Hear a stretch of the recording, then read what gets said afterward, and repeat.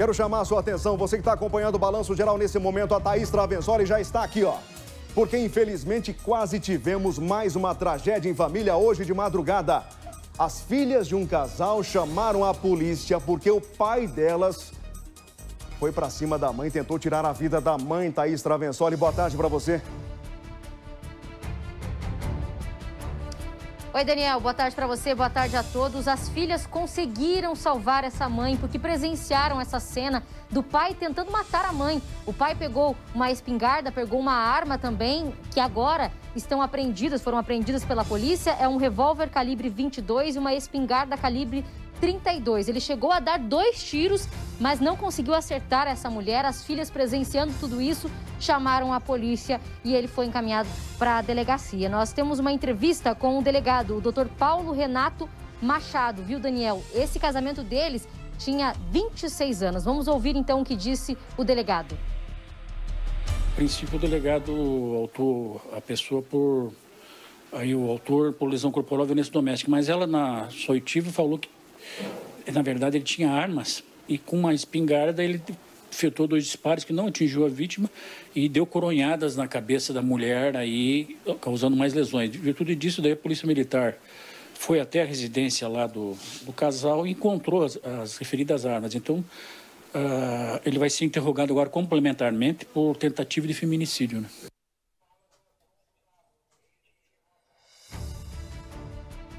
Imagina o desespero, Daniel, dessas duas meninas, porque devem ser moças já, né? Já que é um casamento de 26 anos, de ter que presenciar essa situação no começo da manhã, uma briga entre o casal depois de 26 anos e ver o pai com uma arma, com duas armas, ou melhor, tentando matar a própria mãe. Que bom que elas conseguiram evitar, conseguiram chamar a polícia e como a gente viu agora na entrevista do delegado, eles já estão investigando essa situação em Piraquara. Que susto, que desespero para essas meninas. Com certeza isso vai demorar a, a, ser esquecido por essas duas, né, Daniel? Quero chamar a atenção aqui da polícia. Está fazendo um excelente trabalho nessa história já, mas acima de tudo eu quero vocês do Conselho Tutelar, mais uma vez, e vocês dos direitos humanos, tá? Vocês que ainda não procuraram a família lá de Fazenda Rio Grande até hoje, quer dizer, hoje ainda vai até meia-noite, ainda dá tempo, né? Mas vocês até agora não procuraram a família lá de Fazenda Rio Grande. Essa história que a Thaís Travensoli está trazendo, e a gente estava aqui dividindo o plantão de Ano Novo, me faz lembrar aquela de Fazenda Rio Grande do pai que pegou a filha de 5 anos e arremessou contra a parede. Na chegada dos policiais militares, ele pegou um botijão de gás e jogou escada abaixo. Com um objetivo muito claro de prejudicar, de ferir os policiais militares. Essa esse acontecimento não é muito diferente daquele que aconteceu lá em Fazenda Rio Grande. Não é muito diferente. A violência contra a mãe, nesse caso aqui. O diferencial é que nessa história as filhas chamaram a polícia. Na outra situação, a filha delatou para a mãe que o pai estava o dia todo em casa bebendo enquanto a mãe estava trabalhando. Ele achou ruim, jogou a menina contra a parede, foi isso que ele fez. Agora, o que é que a gente sabe, sabe até agora? Da convivência, do histórico desse casal. Já tem algum registro de violência doméstica? A polícia já compartilhou essas informações, Thaís?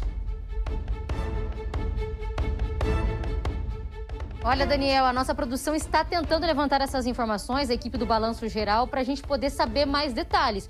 O que a gente sabe é que são duas filhas que essa situação aconteceu em Piraquara, 26 anos de relacionamento. E claro que a gente, ao mostrar esses casos, sempre se pergunta se já tinha um histórico, se era um homem violento, se já existia um boletim de ocorrência contra esse homem e também outras perguntas, né? Por que, que ele estava com essas armas dentro de casa? Se já usava isso para intimidar a mulher? Se já era comum dele de pegar essa arma no momento da briga para assustar essa mulher? Mas a equipe do Balanço Geral já está levantando essas informações, Daniel, para a gente saber se existia o histórico. Geralmente existe, a gente sabe, né, Daniel? Estamos todos os dias aqui falando de casos de feminicídio, de tentativa de feminicídio, e são pessoas que geralmente dão, dão sinais de pessoas que são agressivas e como é difícil para a mulher sair desse tipo de relação por medo, por medo de morrer. Doutora Márcia, mais um caso. Acabei de traçar um paralelo aqui entre essa história que a Thaís Travessoli traz para nós em primeira mão, ao vivo, com aquela que nós mostramos na virada de ano, de um criminoso, já denunciado outras vezes pela mãe, que agride a própria filha de 5 anos, bota a culpa na filha, dizendo que a filha o delatou para a esposa dele. A gente teve que engolir essa aqui. Engolir não. Engolir não. Ele tentou colocar essa aqui, mas essa peça, ela não cravou não. E agora mais uma história, doutora Márcia, começando o ano já com esse maluco indo para cima da esposa, doutora.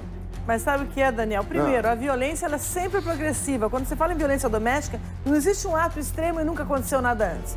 Pode ser que exista um boletim de ocorrência ou não. E às vezes não existem boletins de ocorrência que a mulher acha que ela consegue é, resolver a situação na conversa e vai administrar de outra forma. E infelizmente isso acaba não acontecendo, a gente perde mais uma mulher.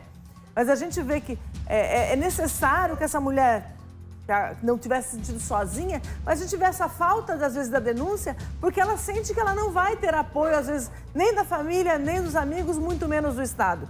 E é exatamente o oposto acontecer. Então a gente vai encontrar, se não for um histórico formal com boletim de ocorrência, vai encontrar informações que a própria família vai realizar, dizendo que houveram atos anteriores ou ameaças ou até agressões físicas anteriormente em relação a essa situação. Infelizmente, né, a gente acaba perdendo mais uma mulher. Isso é, a gente entende que o feminicídio ela é uma, um crime plenamente evitável, desde que tanto, tanto as partes envolvidas quanto o próprio Estado assuma essa bronca antes, não deixe acontecer. Tá certo, doutora.